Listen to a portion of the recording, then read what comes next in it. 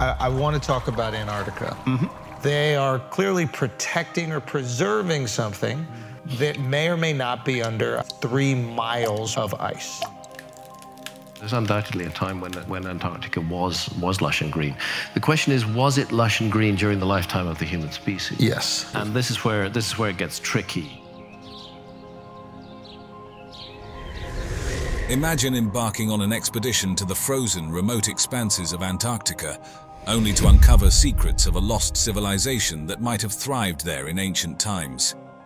This fascinating theory suggests that parts of a sophisticated ancient civilization could have existed on what is now the icy continent of Antarctica. This idea is tied to the hypothesis of Earth crust displacement, whereby from time to time the entire outer crust of the Earth, like the skin of an orange, might shift, leaving the core of the Earth in place.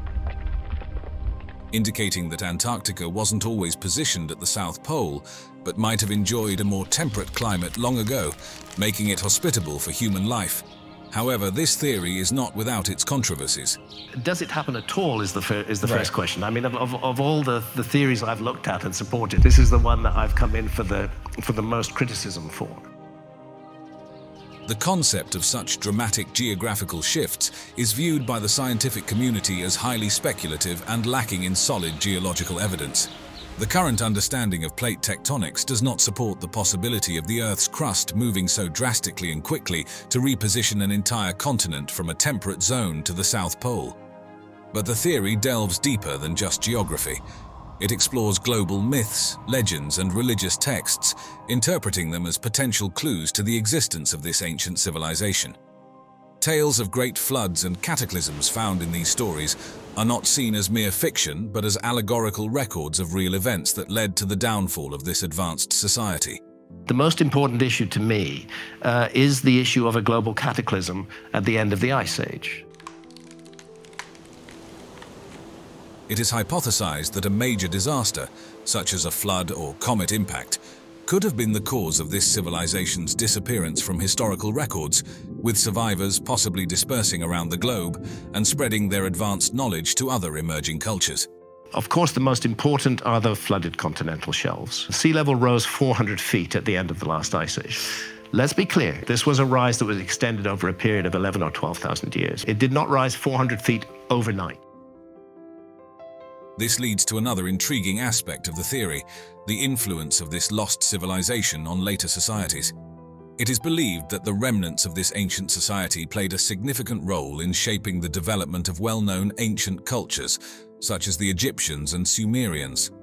Similarities in architectural structures and astronomical alignments across different ancient sites are cited as evidence of a shared origin of knowledge.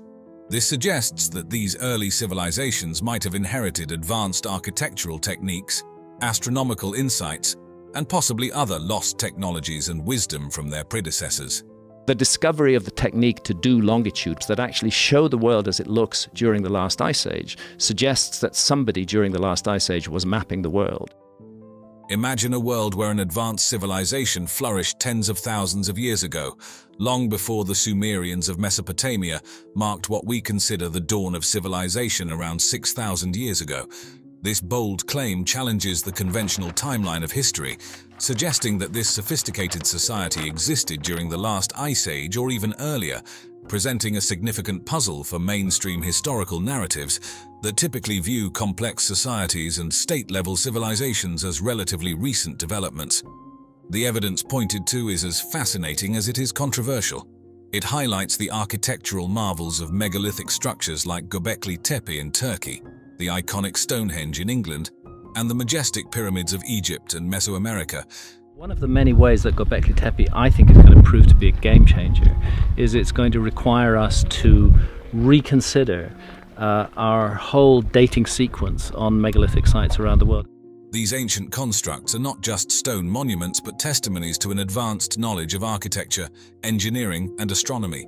Precise astronomical alignments of these structures, such as the alignment of the Great Pyramids with Orion's Belt or the solstices and equinoxes at Stonehenge, underscore a sophisticated understanding of the heavens. This expertise suggests that the people who built these monuments had a deep comprehension of celestial bodies, seasons, and cycles. The theory extends beyond monumental architecture. It proposes that this civilization possessed advanced navigational skills, which could explain how similar architectural styles and astronomical knowledge appeared across vast distances, transcending oceans and continents. The scale, precision, and complexity of these megalithic structures indicate technological and engineering skills far beyond what has traditionally been attributed to prehistoric societies. Furthermore, the alignment of ancient monuments with astronomical phenomena hints at a comprehensive grasp of astronomy, deeply integrated into their cultural and religious practices. Evidence of sophisticated urban planning evident in the ruins of ancient cities suggests advanced societal organization and knowledge of city building. The global spread of similar architectural and astronomical insights among disparate ancient cultures indicates a shared source of advanced knowledge. This could have been disseminated by survivors of this prehistoric society, whose legacy might be the foundation upon which later civilizations built their own achievements. Journey back to the Eocene epoch and you'd discover Antarctica vastly different from the icy, remote continent familiar to us today. This fascinating period reveals a past where Antarctica wasn't engulfed in ice but was bustling with life. During the Eocene, Antarctica occupied the same position over the South Pole as it does currently. Yet the global climate was substantially warmer, enabling the continent to support a climate far removed from the frozen desert we recognize now. There was a lush rainforest that is now covered in miles of ice. Yeah, that, that's probably true. The Earth's climate was very different from, from how it is today. This era marked a time of significant change, with continental drift following the breakup of the supercontinent Pangaea. As part of the Gondwana fragment, Antarctica was gradually moving to its present isolated position, while continents like Australia and South America began to drift away, modifying ocean currents and climatic conditions. A notable difference from today's Antarctica was the absence of the vast ice sheet that currently covers the continent. The Eocene's elevated global temperatures meant Antarctica was devoid of this extensive ice cover, which had profound implications for the planet's climate. The lack of ice's high albedo effect, which reflects solar radiation, resulted in an even warmer Earth's climate. The tectonic activity during the Eocene was crucial in reshaping our world.